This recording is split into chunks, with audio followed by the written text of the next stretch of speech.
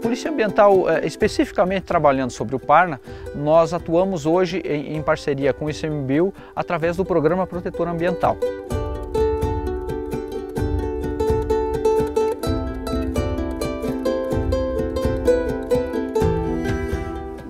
A gente aprende a interagir com o público, a gente aprende mais sobre o parque.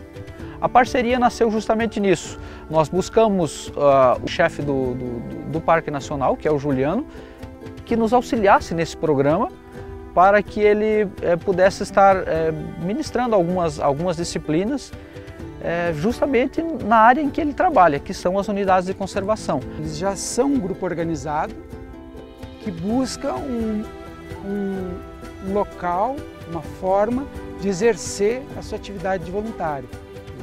Então acabou sendo uma oportunidade para eles e para o parque né, de se complementar, um atender a aquilo que o outro estava precisando. A partir daí surgiu também a ideia de mantermos o programa não só durante o ano, mas sim por estendermos por mais dois ou três.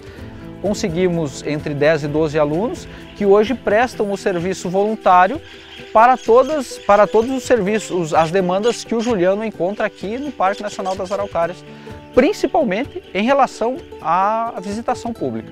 Então a comunidade está aceitando a ideia, tem consciência da, da necessidade de se preservar e está sendo companheira desse projeto de, de preservação e visitação do parque.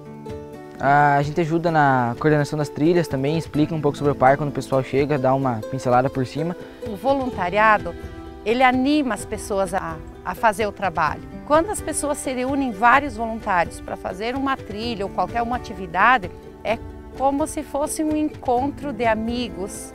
Eu tenho orgulho do que eu faço, no caso, né? Tipo, não é qualquer um que vem e é voluntário. A gente se contagia com a alegria, com, a, com a, essa, esse voluntariado que brota de dentro de cada um.